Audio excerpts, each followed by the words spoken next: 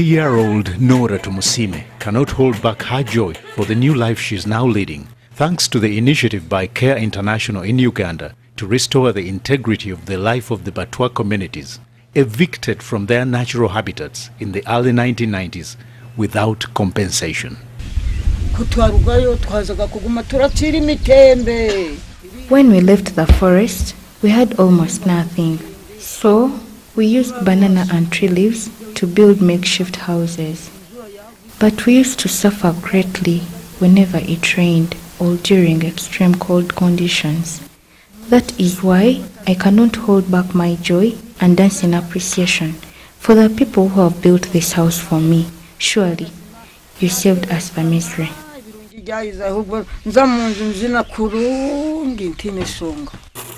Tumusime is one of the 3,000 people, the bulk of whom, Batwa, that Care International in Uganda and her partners supported to transform their livelihood through the HEAL project. HEAL, an acronym for Health, Education, Agriculture and Land, was designed to heal the emotional, psychosocial and physical wounds that they have suffered since their eviction from Echuya Forest, Bwindi Impenetrable Forest, and Mugahinga Mountain Forest in southwestern Uganda's Kabale and Kisoro districts. The forests have since been gazetted into a national forest park. It is a long story, told by different people differently. But all that is history. The bottom line is the Batwa, like everybody else, have a right to a decent life. A move that has caused Care International in Uganda and her partners to intervene through health, education, agriculture, and land as the major pillars the HEAL project is fronting to build the livelihood base of these very vulnerable communities. The project was designed to consolidate the successes so far registered in transforming the livelihoods of these communities through previous interventions by Care International in Uganda. So, the focus this time round was to empower the most marginalized Batwa communities, notably women and girls, with these rights so that they too are able to participate equitably in decision making at the household and community levels. With funds from CARE Norway, CARE International in Uganda worked in partnership with national civil society organizations, local community based organizations, and local governments to implement the project. Ubudu is a united organization for the Batwa in Uganda, and it has the membership of all the Batwa. So it is strategic in a way that anything to do with the Batwa, it can also give a support in terms of working, in terms of mobilization, in terms of uh, establishing the database for the Batwa, and also monitoring their development and performance indicators. King of their area is mainly in the social accountability, monitoring of the performance of the, these other institutions, and they have that strong capacity in mobilization, in forming groups, in empowering people, leadership training. AICM is also working alongside livelihood, is also working around social empowerment, whereas BMCT has been there for quite long and it has got the capacity in terms of resources to implement agriculture related activities, to mobilize the VSLA and support them. So we are building on those strengths and building their capacity to handle different components that would lead to entire empowerment process for the Abatqua people. Two, we are also looking at life after the project. The partners with or without care, they have the capacity to handle both social empowerment, livelihood, and also monitoring their development and performance indicators. The entry point in disseminating all these interventions revolved around the Village Saving and Loan Associations, VSLA in short. This is an informal financial model through which a group of self selected people come together to pool their money and then on lend the accumulated savings to members who wish to invest or address social problems. The scheme has the welfare fund component from which members borrow to meet their social needs, and then the investment fund, which is borrowed to invest in income generating projects that can enable the person to pay back the loan with an interest as agreed upon by the entire association. It's a good financial alternative because considering where the Batwa people have been living next to the protected areas, sometimes the facilities are limited, including the financial services, whether they are banks, microfinance institutions, even the circles. So when you look at the VSLA methodology itself, we are looking at them having an alternative by saving and borrowing and doing any other activity financially. Then at the same time, it is a very good mobilization strategy. These days, all the support that is coming, especially from the government, goes through organized groups. So currently we have 104 VSLA groups in both districts of um, Kisoro and Kabale. We have always invited in expert people, technical people from the sub-county, from uh, even the districts to come and give them this information, whether it is health, whether it is agriculture, whether it is education. We are using VSLA as our entry point. This is Bachiga Batwa Kagano Village Saving and Loan Association in Nyamiyaga Village, Kabale District. Basijirenda Rosa, one of the nine Batwa members in this group, was elected the money counter after realizing that she was able to responsibly handle the group money. batsi I feel proud to be the cashier of this group, especially because it has both the Batwa and the Bachiga.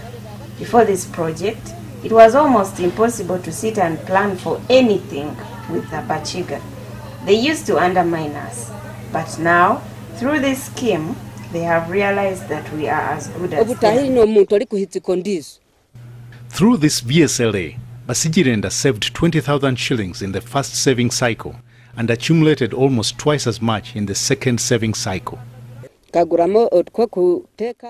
Using that money, I acquired saucepans, plates, and some nice clothes. nange nga nze ndi mpumutsire nk'abandi bantu Mukunduvite Babisekeramu, another Mutwa member in this group, is also grateful to the VSLA scheme, especially the social fund component, which allows her to borrow money and meet her urgent social needs, and then pay back at a convenient time and without interest.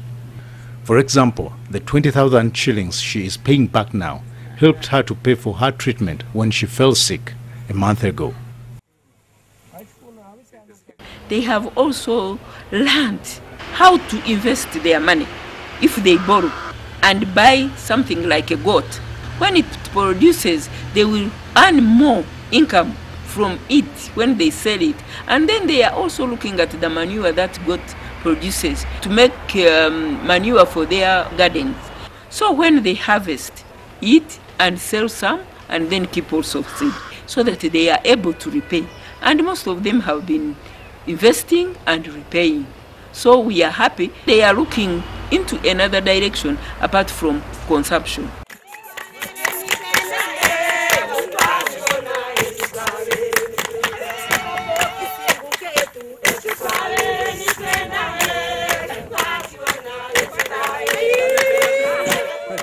We have attained the empowerment that will continually facilitate our development, is the message in their song, reaffirming that the health, education, agriculture, land rights, advocacy knowledge, and skills they have acquired throughout the two years of the project is critical for their sustainable development.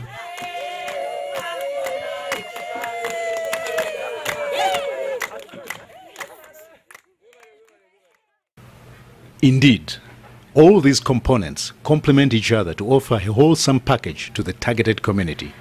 At the project level, however, each of them had a specific goal to achieve as we now explore.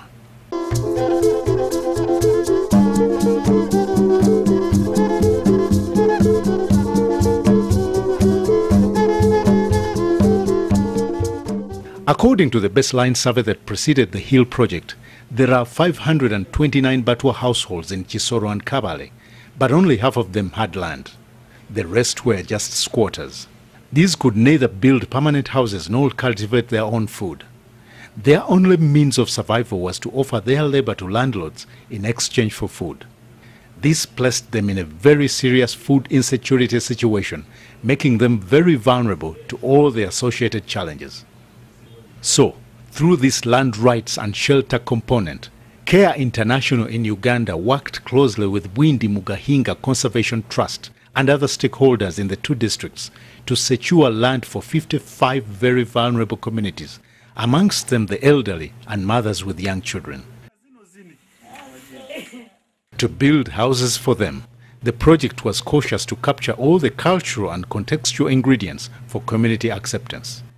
They are like the homes of other villagers. We built a house, a kitchen, a pit latrine, put up a dry rack for utensils. We are also giving them technical backstopping or technical training to help them understand their role in a community and to their own families.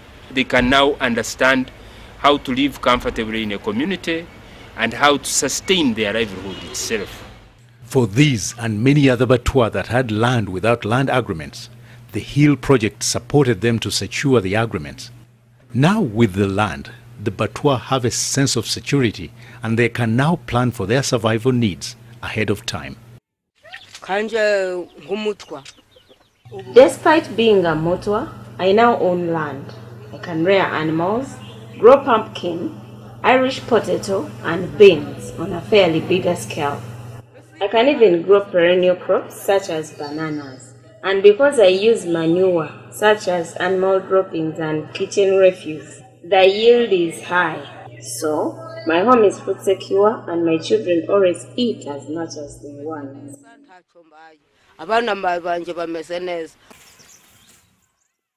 The project implementers also advocated for more land from the local government, and several sub counties have since realized the need to offer land to these vulnerable members within their community in a bid to support their development efforts.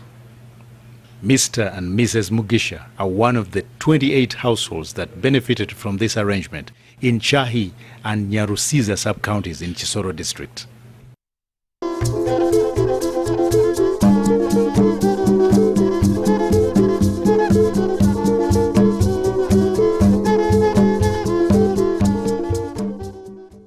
Under the agriculture subcomponent, the project has improved the food and income security of 865 households.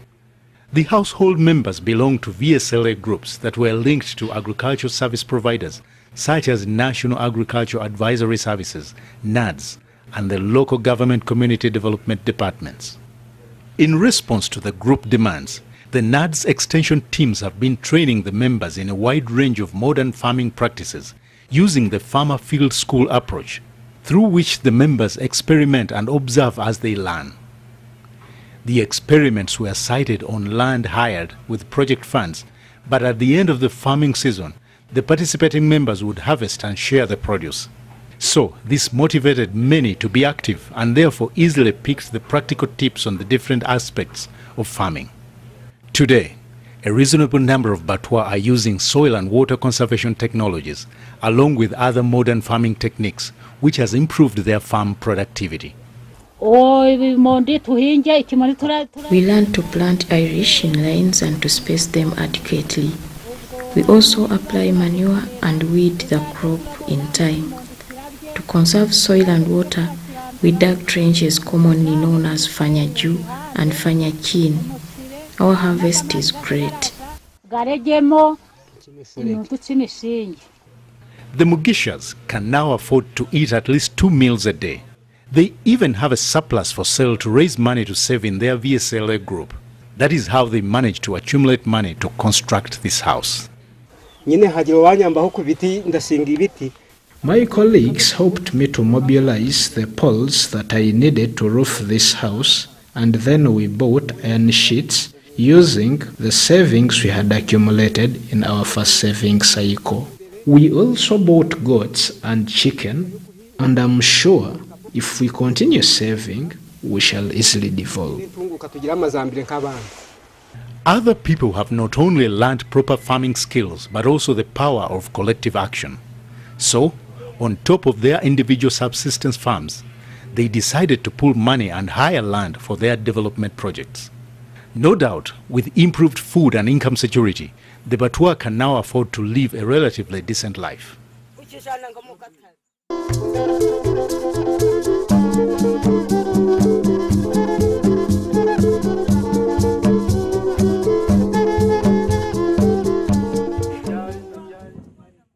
Good health is key for the success of any development effort. So, under this health subcomponent, the project has empowered the members with proper hygiene and sanitation